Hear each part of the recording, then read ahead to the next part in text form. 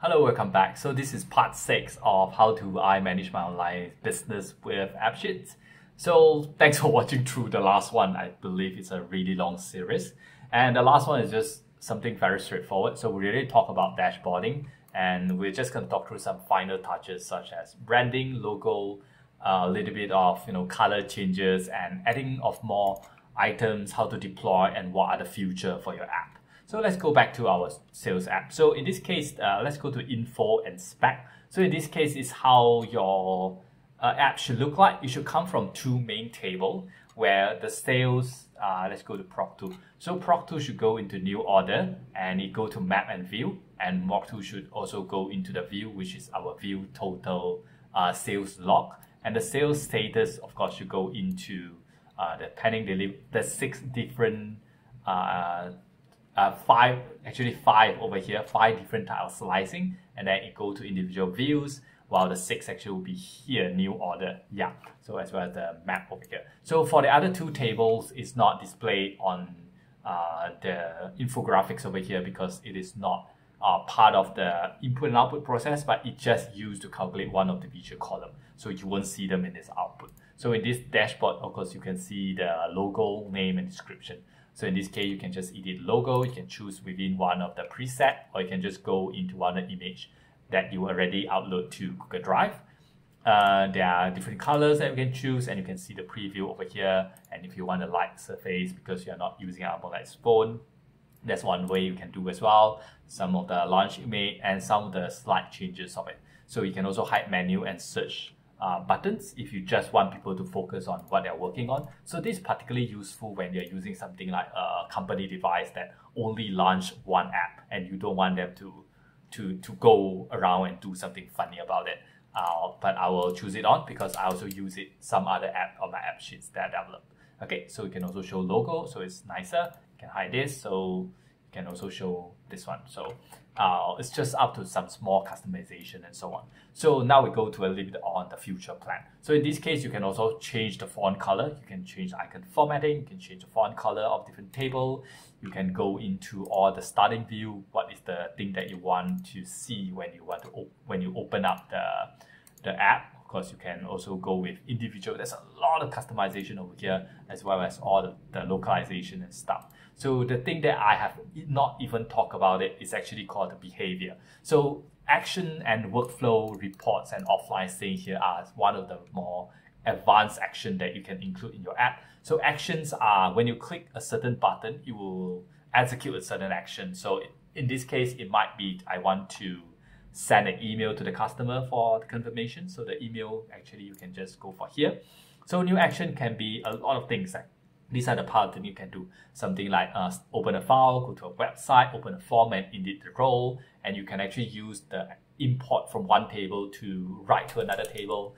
Um, you can actually just go to another AppSheet and then extract data here and there. There's a lot of things you can do. So as well as workflow. So it's also how you can, uh, yeah, when this happen, if it's true, do things and let's say when quantity or price is there's any changes of it, uh, you can actually send an email. Yeah. So when when there's a new order comes in, let's say, so yeah, uh, update event. So any changes to the shipping cost date. Yeah, it's yeah, it's not. I'm not gonna do it on camera. But basically, if an order came in, that you can actually let's say uh, update the other thing, or you can just send out an email. So this is an action that you can do. Yeah, so there's, there's a lot of things you can do. The other thing is report. So if you want to consistently or systematically at a certain time send an email of the data, you can also do here. So at this time, let's say monthly, I want to send uh, overall this table and you can actually do an email or notification or webhook save file, uh, all this thing. You can also save as a CSV in your Google, Google Drive, if I'm not wrong. And these are part of the small little things that you can customize as well with your with your app and so on. So of course, security, not an issue. It's just uh, who you want to sign into. So in this case, of course, I would prefer to have a sign in so that you can actually log the user data down the road if you need to. But if you only work with like uh, two to five people that trust each other, you can use the same account or you can log in a separate account. It will not change the fundamental way of how it works. And you can just manage user and just only add them in and that only particular user is able to access the data. So it will allow the data, of course, to be safe and secure and not able, it will not leak the data out into your customers. I believe Google so far has a really good track record of that security system. They have not been hacked, apparently. Well, Google Plus, except. But apparently Google is one of the most secure platform outside and it's not really been hacked much. So you can also do all this. Uh, intelligence is like there's some assist, there's a predictive model and OCR.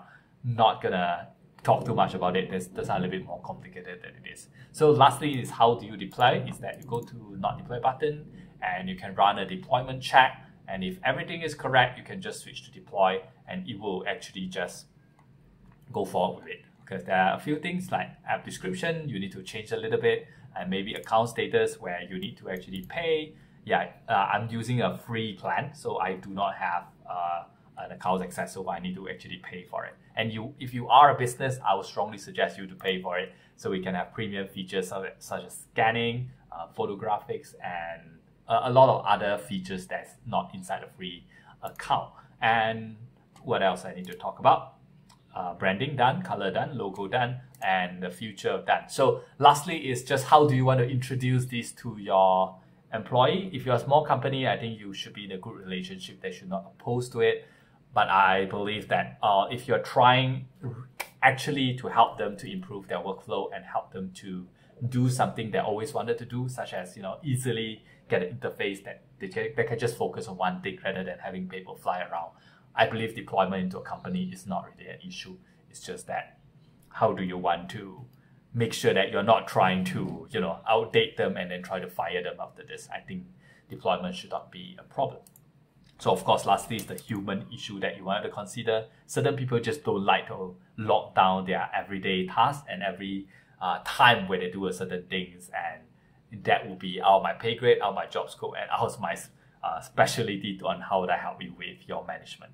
So with with this, I'm gonna wrap up the the whole series. Basically, we have start to app sheet with a Google form that will be sent to the customer. The customer fill up the form and that will able to go into a Google Sheet where you have properly structured them so that they can go into app sheet again. And the app sheet, you have the data table as well as the slices that pipe in into a UX, which is a user interface, and it goes into different views so that different people can do different different thing at the same time, and it can very easily communicate to each other. So with that, I would like to thank you for watching this series and we'll see you in the next series of video or something else. Or if you're interested, you can watch our news that we publish every week.